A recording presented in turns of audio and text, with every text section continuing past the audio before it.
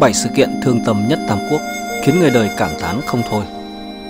Kính thưa quý vị và các bạn, nói đến Tam Quốc, chúng ta cứ phải nhắc đi nhắc lại với nhau rằng đó là cái thời chư hầu giao tranh liên miên, quân hùng nổi dậy cát cứ, đã tạo nên một thời kỳ loạn lạc đẫm máu bậc nhất lịch sử Trung Quốc. Tam Quốc cũng là một đề tài lịch sử hấp dẫn và cũng không kém sắc màu huyền thoại, mà cho đến tận ngày nay người đời vẫn bàn tán không thôi. Nó được tiểu tiết hóa trong các vở kịch, tuồng, phim ảnh, văn học với đỉnh cao là tác phẩm Tam Quốc Diễn Nghĩa của nhà văn La Quan Trung ở thế kỷ 14. Tam Quốc Diễn Nghĩa cùng với Tây Du Ký của Ngô Thừa Ân, Thùy Hử của Thi Nại Am và Hồng Lâu Mộng của Tào Tuyết Cẩn đã tạo nên một tứ đại danh tác chứ danh trong lịch sử văn học Trung Hoa. Tam Quốc Diễn Nghĩa bao hàm ý nghĩa cao siêu của tiêu chuẩn đạo đức, luân lý truyền thống Trung Hoa. Ngoài ra còn đạo lý nhân quả báo ứng, thuận theo tự nhiên, người tính không bằng trời tính. Tác phẩm không chỉ là tiểu thuyết đơn thuần, mà còn ẩn chứa những bài học dân dạy về đạo đức, những tấm gương được mọi người tôn kính thông qua những câu chuyện lịch sử.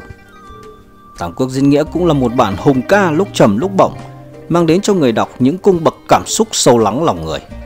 Bao ân oán ganh đua, thiên hạ hợp tan, Âu cũng là diễn cho đời một chữ nghĩa nghìn thu. Sau đây, chúng ta hãy cùng điểm qua 7 sự kiện đáng tiếc nhất trong Tam Quốc, khiến người đời khắc khoải khôn nguôi các bạn nhé. Sự kiện thứ nhất, Tào Tháo thất bại tại Xích Bích. Năm Kiến An thứ 13 tức năm 208 sau Cổ Nguyên. Tào Tháo dẫn đại quân muốn vượt Trường Giang tiến đánh Giang Đông. Với mong muốn thống nhất thiên hạ, trăm dân quy về một mối.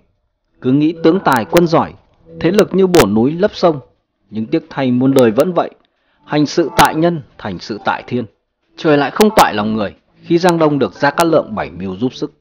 Liên quân Tôn Lưu nhờ mượn được gió đông nên phút chốc đốt sạch đại quân Tào Tháo, khiến Tào Tháo đại bại rút về phương Bắc. Có thể nói, đây là một trong những trận chiến lấy ít thắng nhiều tiêu biểu trong lịch sử, cũng là trận chiến nổi tiếng nhất thời Tam Quốc. Thất bại trong trận xích bích, thế lực của Tào Tháo bị tổn thất nặng nề, nhưng khó khăn mới thử được thực tài. Tào Tháo sau khi trở về phương Bắc, trong một thời gian ngắn đã ổn định nội bộ, xây dựng nước ngụy hùng cường. Còn Tôn Lưu, hai nhà cũng nhân cơ hội để khuếch trường thành thế. Lưu Bị mượn Kinh Châu của Tôn Quyền để mưu lược chiếm Ích Châu. Tôn Quyền thì liên tiếp dẫn quân tiến đánh Hợp Phì bị thất bại, hao binh tổn tướng. Tào Tháo sau 5 năm nghỉ dưỡng, bình định quan trung, sau đó lại nam tiến, công phá Tôn Quyền tạo thành thế chân vạc thời Tam Quốc. Thất bại xích bích không chỉ là điều tiếc nuối cho Tào Tháo, mà còn cho cả hậu thế sau này. Nếu Tào Tháo có thể vượt Trường Giang đánh Tôn Quyền, thống nhất thiên hạ, thì muôn dân trăm họ đã không phải chịu cảnh binh đào khói lửa. Tam quốc tranh hùng cũng trọn vẹn đôi đường. Nhưng đây Âu cũng bởi số trời đã định. Nếu như không có cuộc tam quốc tranh hùng, chúng ta đâu cũng có thể thấy được một quan công cả đời vì nghĩa, một triệu tử long quả cảm phi thường, một khổng minh dũng binh như thần, một tư mã ý nhận nhịn hơn người, và là bài học sâu sắc cho thế hệ ngày sau. Sự kiện thứ hai, cái chết của Chu Du. Tuổi trẻ tài cao, nổi tiếng về thông tường âm luật ở Giang Đông. Chu Du được miêu tả khôi ngô hùng vĩ, dùng mạo tuyệt đẹp, là Chu Lang ở đất Giang Đông. Lang là chỉ người đàn ông anh Tuấn, kiêu bằng lang là để tán dương vẻ đẹp của người được gọi. Giang Đông có hai người được gọi là Lang, Chu Du và Tốn Sách. Làm nên đại thắng Xích Bích, Chu Du vang danh thiên hạ. Sau trận Xích Bích, cục diện Tam Quốc hoàn toàn phân định. Là một bước ngoặt quan trọng trong lịch sử, đã làm nên một Chu Du uy chấn thiên hạ, một tướng quân chứ danh thời bấy giờ. Tuy nhiên, sau chiến thắng trận Xích Bích, chỉ hai năm sau thì ông qua đời khi mới 36 tuổi. Có thể nói, cái chết của Chu Du là một tổn thất nặng nề nhất của Giang Đông. Mất đi Chu Du cũng có nghĩa là Giang Đông mất đi sức mạnh trí tuệ của mình. Nếu như Chu Du không phải anh tài hiểu mệnh, át hẳn Tam Quốc tranh hùng sẽ còn nhiều thú vị. Sự kiện thứ ba Lã bố vong mạng tại Lầu Bạch Môn Nhân trung lã bố, đó là những gì người ta miêu tả về bậc võ tướng lã bố người được mệnh danh là chiến thần thời Tam Quốc. Tuy nhiên, khi Tào Tháo dẫn đại quân thân chinh từ Từ Châu, Lã Bố bại binh lui về cố thủ trong thành Hạ Bỉ. Sau hai tháng vẫn chưa phá được Hạ Bỉ. Một hôm, Lã Bố đang ngủ bị thuộc hạ lừa bắt trói lại, mở thành đầu hàng Tào Tháo. Tào Tháo ở lầu Bạch Môn xử lý Lã Bố và thuộc hạ. Lưu Bị có mặt, Lã Bố nhắc lại chuyện xưa. Nhờ Lưu Bị mở miệng cứu giúp, nguyện làm thân trâu ngựa cho Tào Tháo. Tào Tháo hỏi Lưu Bị ý kiến thế nào? Lưu Bị nói với Tào Tháo, Tào Công hãy nhìn gương ba người, lã bố từng nhận làm nghĩa phụ. Thứ nhất là Đinh Nguyên, thứ hai là Đồng Trác, thứ ba là Vương Doãn. Cả ba đều bỏ mạng vong thân, đây chính là người không có chữ tín. Lã bố nghe xong chửi Lưu Bị, giặc tay to vong ân phụ nghĩa, không nhớ chuyện bắn kích viên môn hay sao? Lưu Bị lại nhắc đến chuyện nhường Từ Châu cho Lã Bố, nhưng rồi lại bị Lã Bố phản lại, nhiều lần đem quân đuổi giết. Nói xong, Tào Tháo cho thuộc hạ lôi chém đầu. Lã Bố một đời danh tướng nhưng sau cùng lại gặp cảnh tang thương. Xem đến đây cũng có người cho rằng Tào Tháo trúng kế của Lưu Bị. Nếu giữ lại Lã Bố, ắt hẳn thống nhất thiên hạ cũng có phần giúp sức. Nhưng trên góc độ làm người mà nói, thân sống trong trời đất, đối nhân xử thế mà không có chữ tín như Lã Bố thì dù tài cao cũng có ích gì. Làm người bất tín thì đi đâu cũng chẳng có chỗ đứng trong trời đất này. Nếu một người mà mất đi chữ tín thì chính là mất đi tất cả. Thật lấy làm đáng tiếc. Thân là một bậc anh tài, võ nghệ cao cường, muôn người khó địch. Khôi ngô tuấn tú nhưng lại là người không có được chính nghĩa. Phải chăng? Đây chính là bài học cảnh tỉnh đệ nhất cho thế nhân về việc làm người. Sự kiện thứ tư, Kinh Châu mất, quan vũ rơi đầu. Sau trận xích bích, Tào Tháo Lưu Bị tôn quyền phân chia bảy quận Kinh Châu. Lưu Bị vào thục, quan vũ trấn thủ chiếm giữ Kinh Châu năm quận, Trường Sa năm quận, Linh Lăng, Quế Trương và Vũ Lăng. Trong đó năm quận là Lưu Bị mượn của Đông Ngô. Sau khi vào thục, Lưu Bị đem trả hai quận là Trường Sa và Quế Dương cho Tôn Quyền. Sau này quan vũ đem quân đi đánh Tào Tháo tại Tương Phản. Tôn Quyền thấy vậy sai Lữ Mông đem quân đi đánh lén ba quận, Nam quận, Vũ Lăng và Linh Lăng khiến Kinh Châu thất thủ. Ở đây không thể không nói đến sự kiêu ngạo của quan vũ. Kinh Châu là cứ địa vô cùng trọng yếu, hội đủ thiên thời địa lợi, nhân hòa đối với hai nước thục nô đều vô cùng ý nghĩa. Quan vũ để mất Kinh Châu, không chỉ là để mất đi bảo địa mà còn dẫn tới mất đi cả tính mạng của mình. Cái chết của quan vũ thật quả là đáng tiếc, không có gì có thể bù đắp lại cho Lưu Bị và nước thục. Sự kiện thứ năm Mã Tốc mất nhai đỉnh đây là trận chiến lần đầu Gia Cát Lượng dẫn quần Bắc phạt. Cũng có thể nói đây là trận mang tính quyết định thắng thua toàn cục. Khi Gia Cát Lượng ở Kỳ Sơn, mọi người kiến nghị dùng cựu tướng Ngụy Diên, ngô ý, nhưng Gia Cát Lượng không nghe.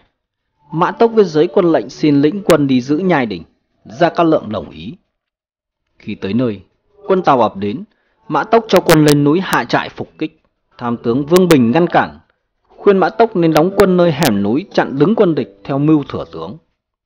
Tiếc rằng Mã Tốc cố ý không nghe, vậy mà mấy chục vạn đại quân khí thế hùng dũng, sức mạnh như trẻ tre nhưng lại bị dùng sai bình pháp. Cuối cùng, Mã Tốc bị quân Tào Tháo do Trương Cáp chỉ huy bao vây núi, cắt đứt nguồn nước. Vương Bình phải liều chết lĩnh đội quân của mình tiến lên. Trương Cáp sợ có cứu binh nên không dám đánh tiếp. Tranh thủ lúc này, Mã Tốc đem tàn quân rút về.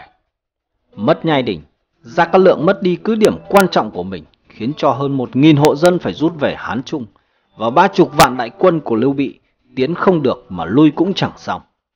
Đây cũng chính là điều đáng ôm hận của quân thục. Sau thất bại nhai đình, nguyên khí quân thục tổn thất nặng nề.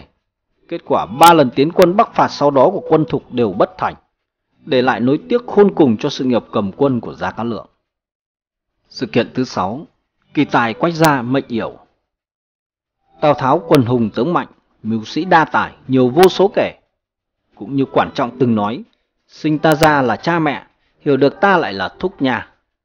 Đối với Tào Tháo cũng như thế, trong số hàng trăm người thân cận, nhưng hiểu được Tào Tháo lại chỉ có quách gia. Không những vậy, tình cảm hai người vô cùng khăng khít, đi cùng xe, ngồi cùng chiếu.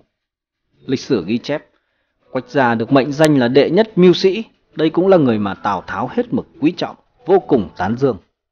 Có rất nhiều lần Tào Tháo từng gọi Quách Gia là kỳ tá, tức là người phụ tá kỳ tài của mình. Trong những năm chinh chiến ngược xuôi, Tào Tháo luôn đưa Quách Gia theo bên mình. Trong các công việc đại sự hay mỗi lần đối địch, mưu kế của Quách Gia chưa một lần thất bại. Đối với Quách Gia mà nói, Tào Tháo có một kỳ vọng to lớn, hy vọng mai này khi đại nghiệp hoàn thành, sẽ giao việc trị vì thiên hạ ủy thác cho Quách Gia đảm đương. Đáng tiếc, kỳ tài yểu mệnh Giữa lúc bao nhiêu kỳ vọng đang được trông chờ thì Quách gia bạo bệnh đột ngột qua đời khi vừa tròn 38 tuổi. Tào Tháo đau buồn thương tiếc mà nói, Quách Phụng Hiếu mất đi, đó là trời hại ta vậy. Buồn thay Phụng Hiếu, đau thay Phụng Hiếu, tiếc thay Phụng Hiếu. Nếu như Quách gia có thể sống thêm vài năm, thì khả năng Tào Tháo thống nhất Giang Sơn cũng dễ như là việc gắp thịt trên bàn. Thật là đáng tiếc.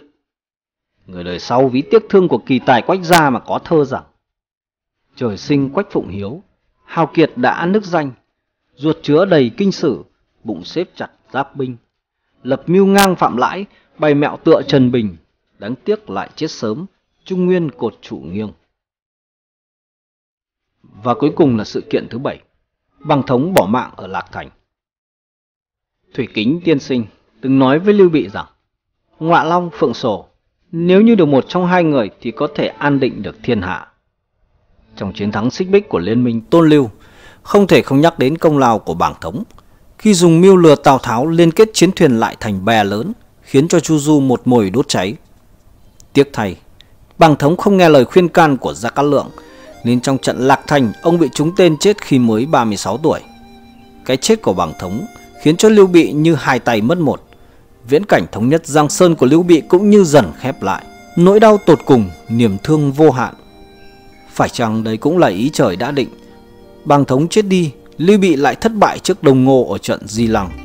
Nước Thục trở thành nước yếu nhất trong Tam Quốc. Nếu như bang thống không chết, có lẽ cục diện cũng đã thay đổi. Gia Cát Lượng cũng không phải ôm hận mà nhắm mắt xuôi tay.